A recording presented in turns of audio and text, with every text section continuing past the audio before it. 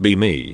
Be 16. Around 2000. Wasn't an outcast but wasn't a popular kid either. Kinda did my own thing really. Shared world history with this kid. His name was Greg. And this was his fall from grace and into autism. Greg at this point was quiet and reserved. Never did anything to get bullied. Especially after Columbine. All that was going to change soon. Friday he was totally fine. That Monday, apparently Greg's parents had bought him a computer and an internet connection. Oh, how two days can change a man. He obviously hadn't showered at all since Friday. He didn't really pay attention during class and was mostly drawing in his notebook. His smell was palpable. The bell finally rang. Greg collected his things and headed for the door. Not before he bumped into a guy named Mike. Mike was not pleased with Greg's odor. Jesus Greg, you fucking reek. Greg stood silent for a moment. And then he did it. He fucking growled at Mike. Mike just pushed Greg out of the way and made his way into the hallway and walked to his next class. The rest of the kids gave Greg a strange room for the rest of the day. Tuesday. Apparently Greg didn't do his homework the night before. Instead he bought a grey hoodie and some cloth and sewed some ears to the hood. At least he showered this time, thankfully. The teacher was this really nice vegan lady from Oregon. She was a little pushy with homework but that was it really. She asked for homework to be passed up front. Everyone had theirs in. Greg? Where's your homework? Silence. Greg? She approached his desk. The room was strangely tense. Before this Greg was a good student. Greg? She reached out for a piece of paper she assumed was his homework. And then he snapped at her. Not like screaming or yelling, but he tried to bite her. You could actually hear the clack of his teeth. The teacher gasped. Greg just got up and Naruto ran out of the room. No one had seen such a thing before and we were really taken aback by him trying to bite the teacher, but the way he ran. The teacher called security. No one saw Greg for the rest of the day until one of the stoner kids reported seeing Greg in after school detention. Apparently he got on a table, curled up into a ball and tried to nap. The Indian man in charge didn't care enough to bother him. Wednesday. Greg apparently wanted to make it up to the teacher. Unfortunately she was a little late because her Ford broke down.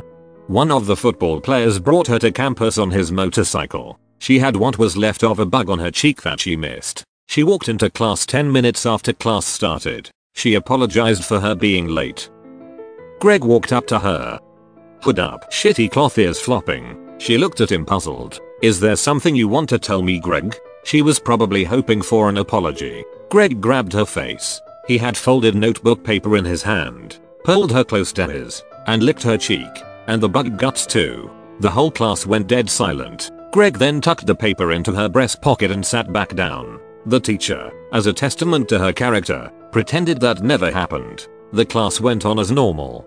She looked shaky and on the verge of tears the entire time while we were talking about the Boxer Rebellion. When the bell rang again, Greg bolted full Naruto style out of the room. His hoodie came loose and fell off, revealing a really shitty attempt at anime hair. I didn't see him again for the rest of the day. After school as I was walking home I saw our US history teacher talking to the school cop, with her equally vegan and upset boyfriend there too. We didn't see Greg for two weeks after that.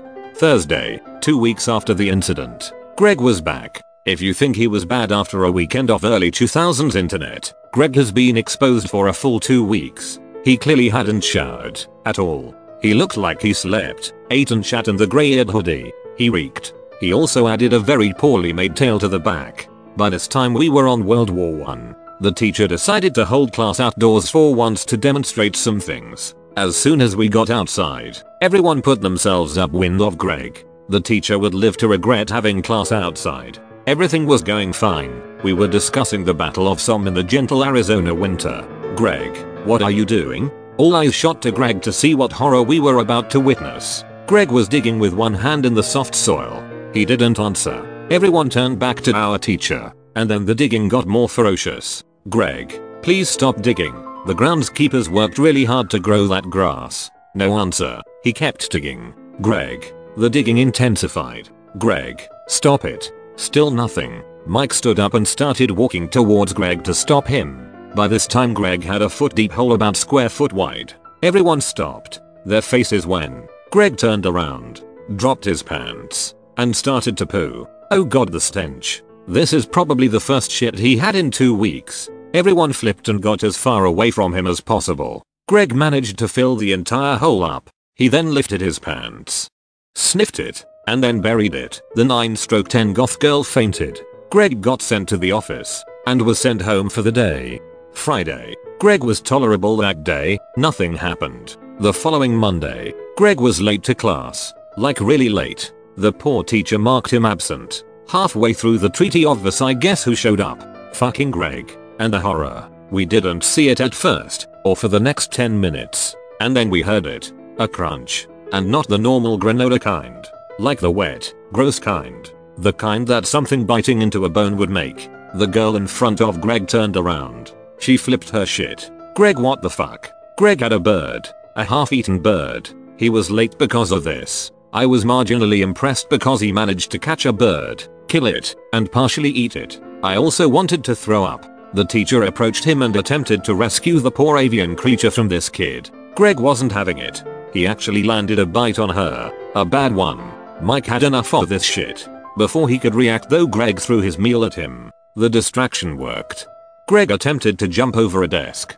He failed and landed face first on the tile. Luckily he had enough time to get up, spit out some blood and Naruto run out of the room. Somehow, he wasn't expelled for this. Our teacher missed two weeks of school because of an infection though. About a week into our poor teacher's absence, the substitute put us in the computer lab to research some shit. She sat right behind Greg. Thanks to her fatness and her odor, she was immune to Greg's smell barrier. Our schedule was fucked that day. They were having an assembly for 8th graders that would be attending next year. So we only had our first class that day. For 8 hours. We broke for lunch. Nothing weird happened with Greg. Yet. When we got back though, shit started happening. Slowly. Everyone had the post-lunch sleepies. Half the class was napping at their terminals. The others were either working or goofing off. I was helping the 9 stroke 10 goth girl work on her horror novel. Wasn't too bad except for some grammar errors. And we were flirting.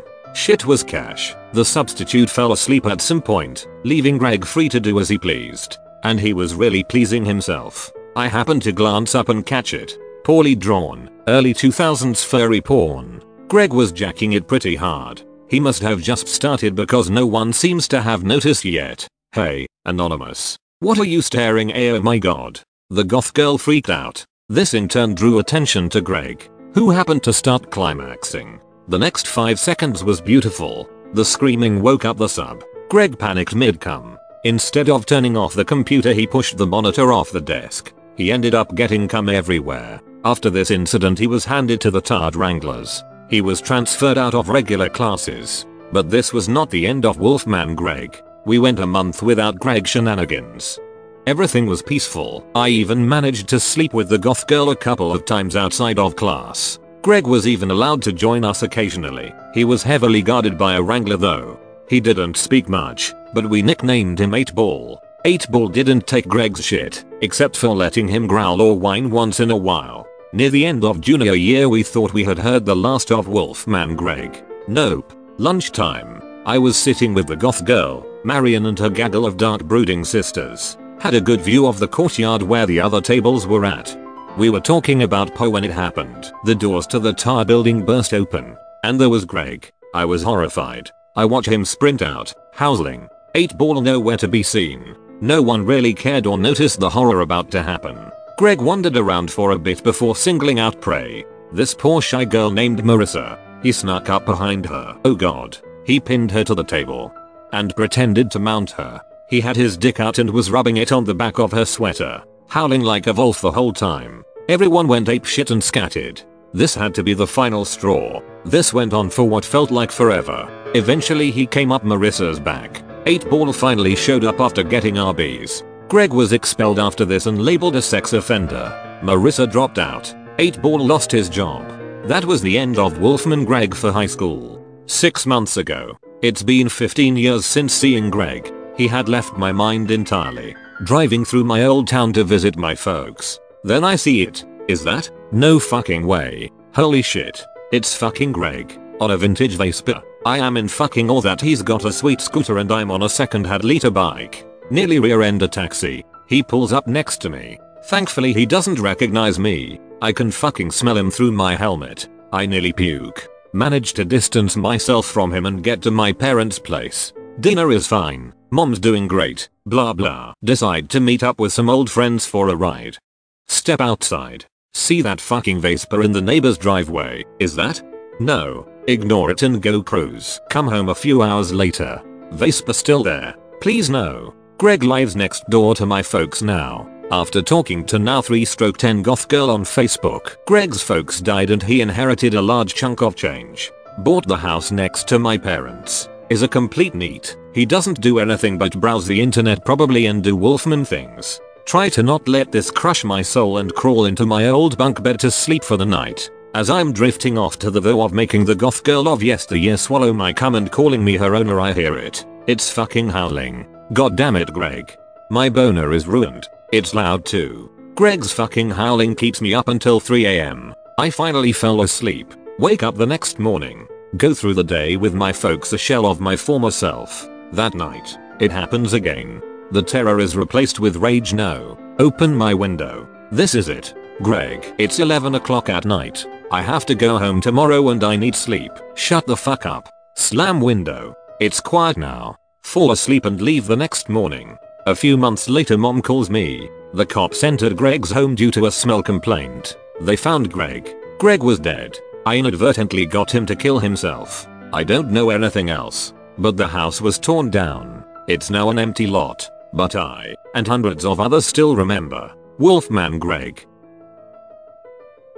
So I hope you guys have enjoyed. For me personally, I've only ever came across one furry in real life before, so I still think of them as almost like mythical creatures or an elaborate joke on the internet. And like, you know, everyone's just laughing. It's like, oh, we're not actually real. Like, you know, who the fuck would be into this type of weird ass shit? You know what I mean? So that's where my mind is on it. But if you ever, ever came across any furries in real life, or if you know of any, just comment down below and let us know about them. Or wait for it, maybe you should come join the Discord. Or actually, do you have a furry on there? TFG, come laugh at them. It's fucking great fun. I love it, be honest with you. Also be sure to check out the links for merch. Got some nice looking t-shirt designs you guys will love. This, this is, is not okay. This needs to stop now. This is cancer. This, this is so much cancer that I can feel the tumors growing on my back. And it's way down heavy on me, and it's not okay. Can you help a nigga out and just stop this? Please?